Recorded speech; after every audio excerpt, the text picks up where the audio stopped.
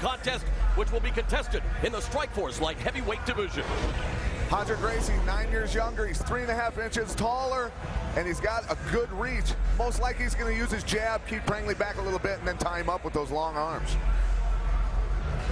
All right, let's go to the rules for tonight's fights. Three judges representing the California State Athletic Commission will score each bout using the 10-point must system. The winner of each round gets 10 points. The loser, nine or less. Scoring is based on effective striking, grappling, aggression, and cage control. In California, the doctor or the referee can stop the fight. There are no kicks, knees, elbows, or forearm strikes to the head of a grounded opponent. Tonight's two championship fights are scheduled for five five-minute rounds, while the other two tilts on tonight's main card will be contested over three five-minute rounds. All right, fans, here we go. Light heavyweights in the cage, scheduled three five minute rounds. And our referee in charge, Josh Rosenthal.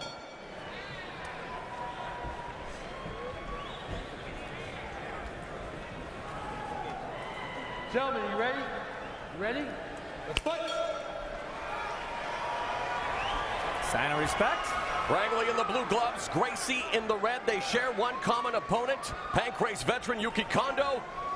Not surprisingly, Gracie submitted him via rear naked choke, while Prangley defeated him via form of knockout. Gracie's looking a lot more relaxed than I thought he'd be on that stand-up. Yeah, he looks he looks focused. He looks like he's got a little bit of rhythm moving, doesn't he, Frank? Yeah, I mean, he's a little stiff and long, but he, I think he's a long guy anyways. He looks uh, very surprised at the, at the comfort of his shoulders right now.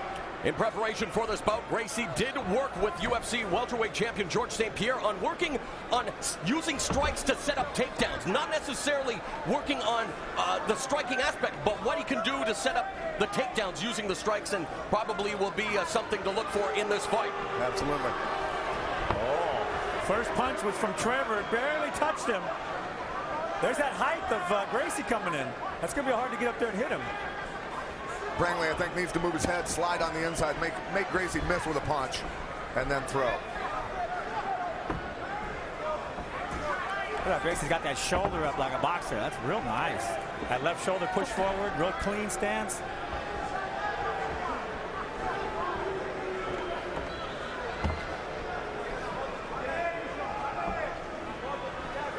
I like that inside kick he was doing uh, to Prangley. I think he should go back to that. Well, he's, he's doing a good job with the jab. He's using a few fakes and feints.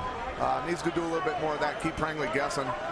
Prangley was very relaxed at the fighter meeting, showcasing uh, his sense of humor, saying he knows all about uh, Gracie's submission skills. He says he has a glass neck, so he's going to try to avoid the chokes in this fight. And already, Gracie now standing arm triangle, perhaps looking to clinch up with Prangley. A couple of Muay Thai knee strikes. Prangley was smiling at him after that.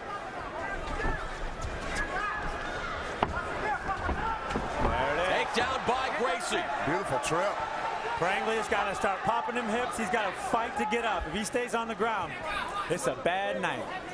Prangley rated the training camp for this fight an 8 out of 10. He sparred with the 6'3 and a half Kyle Kingsbury to replicate Gracie's size. Also worked submissions with Luke Rockhold, a Strikeforce middleweight who has been on the shelf due to injury, who we expect to return hopefully in March in Columbus, Ohio. Look at how Gracie's controlling Prangley's legs. He's trying to tighten in on him, squeeze him, and pinch him. Prangley can't move his hips. Now he's trying to pull that post arm out from underneath Prangley to get him down. It's a gradual thing. If you move too quick, your opponent jumps up to his feet, wall walks right up, and you lose him. Gracie's just inching along.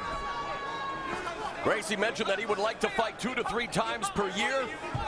The last time we saw him was in his Strikeforce debut against Kevin Randleman last May when he defeated the former UFC heavyweight champion via rear naked choke. He's also still very active on the grappling circuit. And Pat, I'm wondering, can you do both if you want to be a world-class mixed martial artist? I think it only helps you. I mean, I know a lot of guys that have, have competed in kickboxing matches, boxing matches, and grappling matches. They'll even go to wrestling tournaments just to keep themselves sharp. Very bad position right here. The mount. Arm bar's already set up for a side. Oh, he doesn't have the arm across. Oh, good. Minute and a half remaining in the opening round. A position that Trevor Prangley most definitely does not want to be in against a guy with the grappling pedigree of Roger Gracie, but Prangley, the veteran, using the cage for his feet, and now Prangley going for that rear naked choke looking to test that glass neck of Prangley as Prangley so eloquently put it.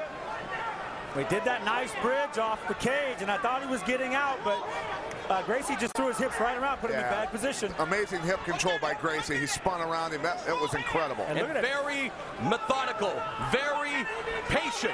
Now he's got the figure four leg lock on the body. Body triangle. The body triangle was outlawed in wrestling because it suffocates people. Right, I was going to say, you know how that feels. That literally sucks the life out of you. And Roger Gracie submits.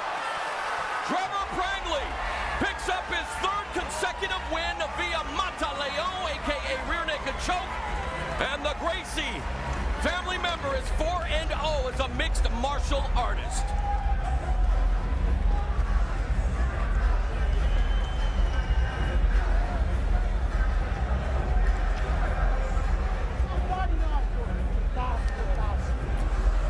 His cousin, Renzo Gracie in to celebrate with Hodger.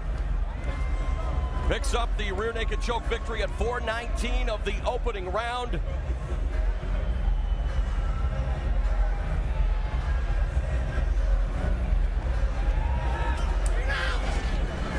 Well, here's where he got him into trouble, and I thought Prangley had bridged himself out, but look at look at Gracie just throw his legs around him and stay attached to him as he spun around, ended up on his back in a beautiful figure four position. I thought Pat, once he was here, he wasn't getting out. And here, he, here he's, he's got him locked. He's working his chin up. He's just slowly sinking himself into position. You can see it right there. As soon as his arm went underneath his chin, he's got the other arm locked. There's zero space. It's over. That was amazing technique when he took his back. He posted both hands, loosened his legs. So when Prangley spun over to his belly, Gracie's legs were loose enough. He just spun himself. He, he let Gracie go onto his back, basically. It's a really, really smart move by Gracie. Well, grappling skill shown.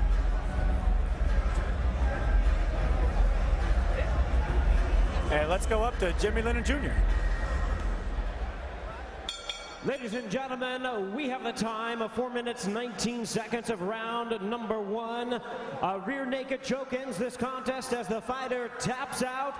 He is the winner by way of submission and still undefeated, Roger Gracie.